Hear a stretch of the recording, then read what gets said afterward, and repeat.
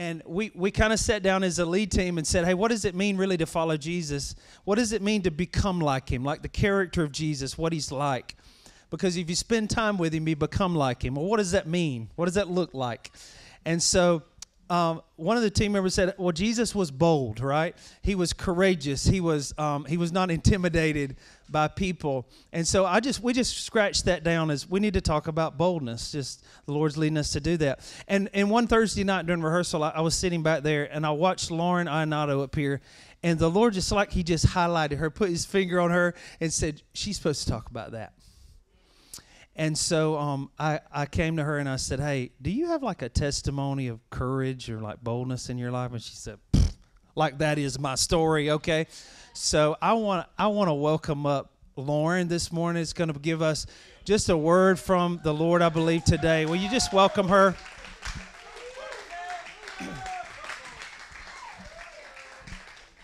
I've been I've been so pumped about this. All right, Lauren, we just bless you with just um, just the wisdom and just the words from the Lord today to our hearts. God, speak to us and change us today. Amen. Thank you.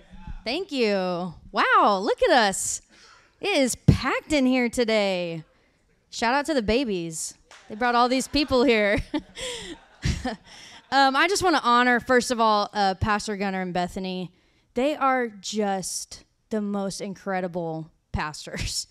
We've been at the dwelling for a little over two years, and it it really has like changed our lives.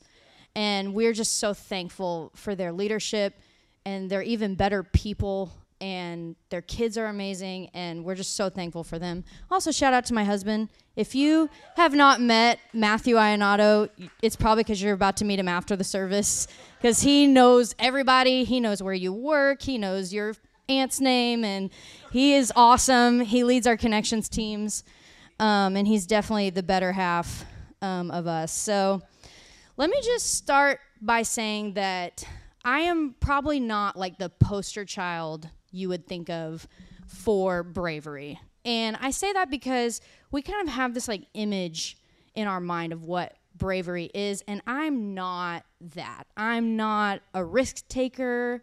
Um, I'm not gonna go skydiving. I'm not a daredevil. Like, you know, my idea of an adventure is like getting a sonic blast at 9 p.m. Like, but I wore my slippers in the car, so like that's crazy. But I am. I am calculated. I'm cautious. I'm an overthinker. Um, I'm indecisive. And if we're not friends yet, I'm sure I just told you on being my friend because that just sounds like a good time. But somehow, um, in spite of my personality, God has shown me what it means to be brave. And I care about this subject simply because of my immense need for it. I need courage. Therefore, I care about courage. And so um, it's been a part of my story, and I'll get to more of that later. But brave is not just for risk takers. It's not just for people who throw all caution to the wind and we're like, wow, that's so brave. Like, it's for all of us. And not only is it for all of us, but we all need it. We all need courage. And so we're going to look at somebody in the Bible um, who had to act in bravery in the face of fear. And we're going to look at Gideon in the Bible. He's in the Old Testament, um, in the book of Judges. And to set it up, Israel has been handed over to the Midianites, and they've been um, under the hand of the Midianites for like seven years. And the Midianites are so oppressive, they're plundering like everything that the that the Midianites grow or that the Israelites grow, the Midianites are taking. Um, they take their ox, they take their sheep. Like it's a very hard time to be an Israelite, and the the Israelites are just so over it. They they finally cry out to God for help, and He hears them. And so we're going to pick up in Judges six verse eleven. It says, The angel of the Lord came and sat down under the oak in Ophrah that belonged to Joash the Abiezrite, where his son Gideon was threshing wheat in a winepress to keep it from the Midianites. When the angel of the Lord appeared to Gideon, he said, The Lord is with you, mighty warrior. Pardon me, my lord, Gideon replied. But if the Lord is with us, why has all this happened to us? Where are all his wonders that our ancestors told us about when they said, Did not the Lord bring us up out of Egypt? But now the Lord has abandoned us and given us into the hand of Midian. The Lord turned to him and said, Go in the strength you have and save Israel out of Midian's hand. Am I not sending you? Pardon me, my lord, Gideon replied, but how can I save Israel?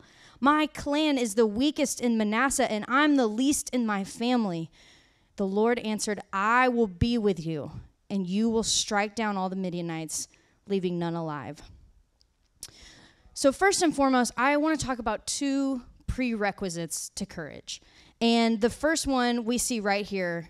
And the first prerequisite to courage is knowing and hearing who God says you are. So the angel comes to Gideon and he's threshing wheat in a wine press. Now, if it said like he was crushing grapes in a wine press, that would not really be like an interesting factor in the story.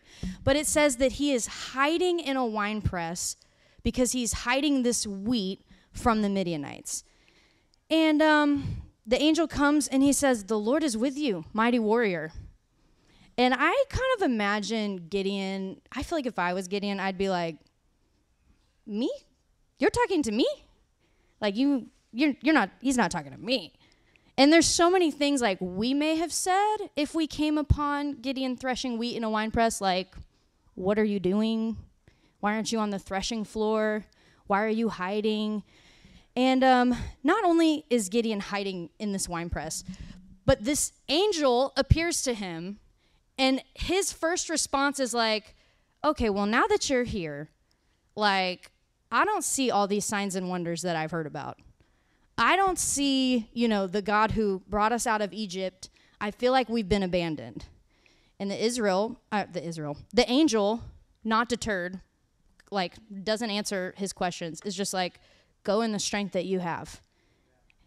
And then Gideon's like, well, I'm like, you know, like my clan is like the least in the tribe. I'm like the bottom in my family. And he's just saying, he's like, I'm not the right person for this job. I don't, I'm not the one that I think you're looking for. Um, and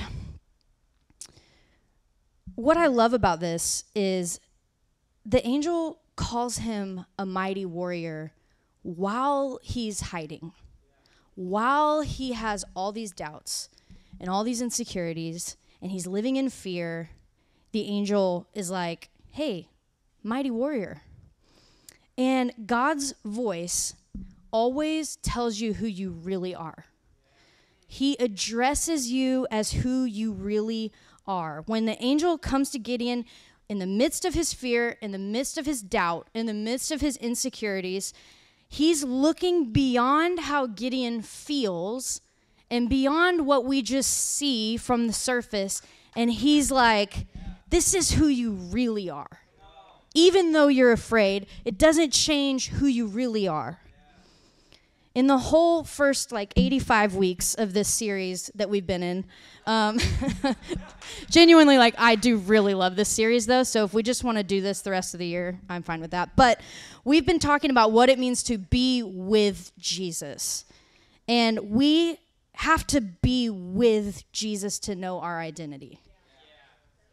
We have to be in his presence. We have to be familiar with his voice so that we can hear who we really are. Maybe we feel terrified and we feel like we're not enough and we feel like the least, but God is saying, I'm with you, mighty woman of valor. I'm with you, mighty man of valor. Pastor Gunner just preached a message on identity a couple weeks ago. I think it was the Princes and Paupers message. If you have not heard that, you should go listen to it. It's very, very good. And um, it's it's because it's so important. If we're going to have courage, we first have to hear, "I'm with you, mighty warrior." And so, there's one other essential prerequisite to courage, and it's receiving the love of God. When you recognize and receive the love of God, it makes you brave. And the love of God is not something that you can like conjure up. It's not something you can earn. It's not something that like you get, you know, enough gold stars and then you get to experience God's love. It's something that is being poured out every minute of every day, every moment. And what makes it hard to receive it is that we have these things in us that make it hard. We have doubts, we have insecurities, we have fears, and it's blocking our ability to receive the love that's already being poured out. And I think often the biggest roadblock to us receiving the love of God is believing Him when He says that He loves you. So just start there. You have to start choosing to believe He loves you. And it's super simple. It sounds too simple, but it's like, it's as simple as asking God, I know that you love me. I know that your love is being constantly poured out on me right now. That's the truth. So I'm going to choose to believe that you love me. Help me receive your love. And it's a miracle when we can receive the love of God. But He is so good and so faithful. Like you can have a miracle every day. And when you have been loved, it's easier to be brave it makes you brave. Um, many of you know um, our two year old son, Matthew. He's one of the small blonde children that runs around here. Um, Matthew is like the sweetest, most gentle, loving little soul. Also, he's super into wrestling right now. And if you have a small child, he's probably tried to tackle him, and I'm sorry but that's just where he's at in life. It's it's out of love. But we have a lot of wrestling matches in our house, and usually it goes the same way every time. Matt is the dragon, and I get to be the safe place and like the protector and you know the the home base. And so usually Matt will start chasing Matthew around and Matthew will shriek and then run to wherever I am, probably holding Luca somewhere, and he'll try to hide behind me. He'll try to crawl on top of me. He like clings to me like a koala bear, and Matt will kind of turn off and go hide in plain sight because he's a toddler. And um, I will whisper to Matthew, Go get him. You can get him. You're strong. You can defeat him. And Matthew will run, run, run, run, run, and he'll jump on top of Matt and he'll like push him over and then he'll run back to me and climb up me like a koala bear. and when that doesn't work, when the dragon is reawakened, if you will, um, we have one surefire way to beat him. And it's a little goofy. Like, literally, it, it's a little goofy. And. See what I did there? And thank you. I've been thinking about that for three days. Okay? All right. Thank you. Thank you. So, woo. Um, so I've had this Goofy since I was four years old. Okay, this Goofy wore an eye patch when I had to wear an eye patch as a kid. Like we roll deep. Like, so now my sons play with him, and he is like this i realize this does not make sense. He is how you defeat the dragon. So i when matthew runs back over to me i'll say okay buddy you have to get goofy. Where's goofy? You have to get goofy. So he'll take this goofy and he'll hold him like this.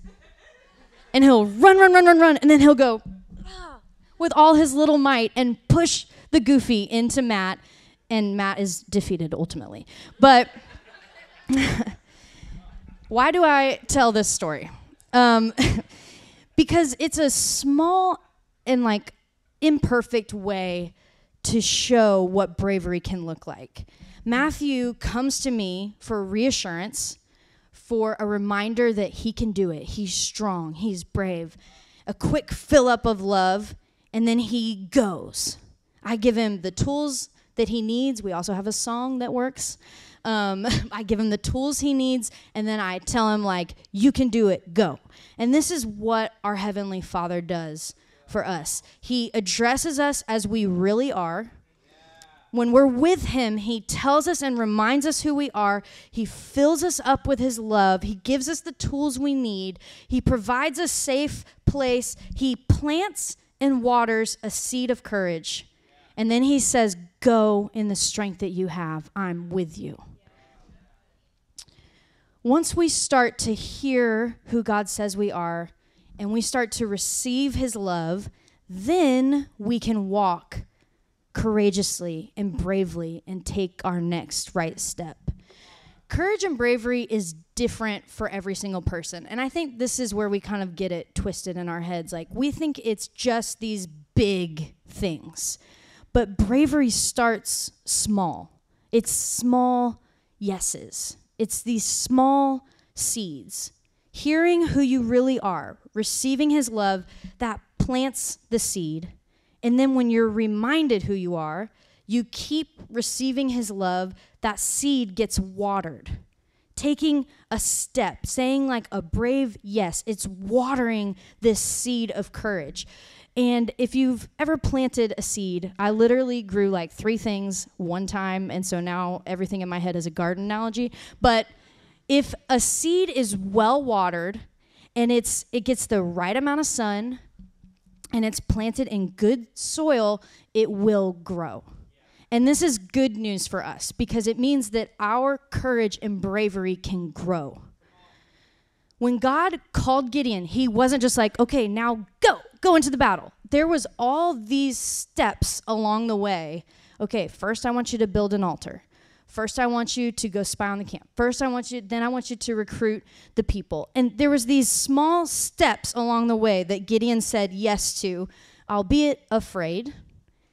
If you read his story, almost every point in the story, the angel's like, and if you're afraid, you can take someone with you. And then it'll be like, and Gideon took someone with him. And so it's not that he wasn't still afraid, but he started saying one small yes at a time. And if we want to recognize bravery in ourselves and everyone around us, then we have to redefine what it is. So for some people, it can be brave just to ask someone to hang out. It can be brave to have a hard conversation with your spouse. It can be brave to call that therapist you've been meaning to call. It can be brave to trust your instincts. It can be brave to be vulnerable. It can be brave to say yes, but it can also be brave to say no. It can be brave to go, but it can also be brave to wait. And it's different for everybody. The small yeses and the small moments of bravery are what help us for the big moments they lead us through the big moments because if I say yes, this small yes, and then this small yes, and this small yes, now I have a history of being brave. But more importantly, I have a history of God's faithfulness in my own story. And here's the tension He's gonna be faithful anyway. He's faithful when you say no, He's faithful when you're not brave. But when I am, when I take the next brave step, I get to experience intimacy with Him and His faithfulness in a new and different way. It becomes like not just faithfulness that I know about, but faithfulness I have lived in my life. His faithfulness is not dependent on me being courageous, but there is a new level of relationship with Him when we step take these steps of bravery. And when we start to see these brave moments in our own life and we start to recognize them, we also start to see them in other people. And we can be part of watering those little seeds of courage in other people. I have never met anybody who like did not need to be encouraged. Who was like, I'm good. Like, you don't even need to compliment me. You don't even need to encourage me. Like, I'm totally fine. The Lord is my sustainer. I don't know anybody like that. So, what's great is that this is why community exists. In encouragement, it's it's putting courage in someone. It's giving courage, encouragement. And when you see it, those small steps, the hard decisions that your friends make, the you know the how they're navigating different things that they're walking through. If you will just acknowledge it it waters the seed. Man i know that was hard. That's so brave that you did that. Wow you're like man you have such a good instinct about that. You're doing a great job. Like you're watering the seed of courage. You're putting courage in someone. Adam if you want to go ahead and come back and play the guitar. Um, so, my story. Wow, that timing of that pad. my story. Um, I have struggled with anxiety most of my life, and I can remember, you know, it was like a lot of my life, and I. Oh, I got sorry, I can't help but hear the pad. um, but I got to moments when I realized like, man, this is like really stealing from me. This is stealing my joy. Like this is stealing purpose from me. And sometimes you just have to get tired enough of something to be like, you know what? I'm not okay with this. And I had canceled so many flights. I had more airline vouchers than anybody did in 2020 because I would like plan to do things and then I would be so anxious the day of, I would just cancel my flight and not go. I wouldn't go lead worship places. I wouldn't go do like songwriting camps. I wouldn't like, I just wouldn't go see friends. I was like, I can't do it. I'm too anxious. I can't do it. And so I remember this one particular trip. We were going on a regional college retreat to the mountains in North Carolina. I worked for a college ministry in Jacksonville, and I was 25 at the time. I was supposed to be going on this retreat um, as a staff member, and I was going to be leading worship and I was going to be speaking at the retreat, which I had never done before. And so we wake up like the morning we're supposed to go. We get to the church where we're meeting, and I'm like basically hiding in a closet at this church so anxious, like telling my pastor's wife, like, I can't do it. I want to, but like, I can't. I wish that I could, but I can't. And I'm talking to her, and somehow in this conversation, I realized, like, okay, what can I do? Like, what is the one thing so I started breaking the whole weekend down into like one step. And so I told her, I was like, okay, I will get in the car and I will start driving. And that is all I'm committing to right now is just that I'm going to be driving. You know, I'm going to be driving anyway. I'll just drive north. And I don't even think I drove. I think Leah drove and I watched Friends in the front seat to distract myself. So we start driving, we get a little, like, couple hours in, we stop for gas, and I was like, okay, we can keep driving. I'm gonna say yes to just keep keep driving, and then we'll see what happens. I don't know what happens, you know. And so we get there, we get checked in, we start setting up our sound equipment. Um, you know, we're about to have sound check, and I was like, okay, I will stay tonight, and then I'll just leave in the morning. Makes sense. I'm already all the way here. I might as well, you know. And what started to happen is as I broke these down into small yeses and moments of courage, God was watering this seed. And I started to actually enjoy it and have fun. And I could feel the Holy Spirit in the room. And I was enjoying being with my friends and being with the students. And each small yes led to this big yes. And that trip ended up being really significant in a lot of ways. Um, but when I look back and I think about it, I'm like, wow, God was always with me. All these moments I've had, anxious, when I've said no, when I've taken one step, like, He's been in them all. In the moments that I didn't go, in the moments that I was paralyzed, but then in the moments of this small brave yes. He came alongside me and we did more than I could ever do by myself. And I've done things in my life, like not just big things, like literally ordinary small things that would be small to other people, but they were a big deal to me because he watered the seed. He told me who I really was. He kept pouring out his love, and I started to believe him. And then I would say, like, one little brave yes. And then he would bring people alongside me that put courage in me, that encouraged me over and over. And now we have a history. And I, I still feel anxious at times. And I am a firm believer in therapy. I go to therapy regularly. I think everybody should go to therapy. I've been on medication in different seasons of my life. And there's a place for all of that. This is not an anxiety seminar. There's a place for all that stuff. But I tell you, nothing has changed my life like building a history with God. Nothing like seeing Him meet me over and over and over and over. And now, when I need to take a brave step, I'm like, well, I know you're going to be there. If nothing else, if this is a total failure, if this doesn't count for anything, you and me are going to do it together. And that's enough. That's enough to get to be with Him in relationship. It always comes back to relationship with Him. He doesn't need you to be brave just so He can use you. He wants you to be brave because He's like, we going to get tight. We're in relationship. We get to do this together.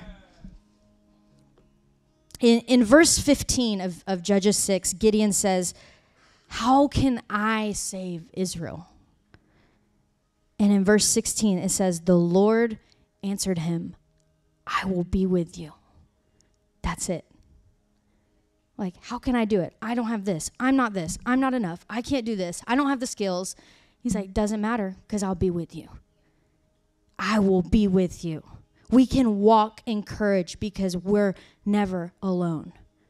When we know who we are, when we know how deeply we're loved, we can do the just the next right thing, even if we're afraid, because God is so faithful.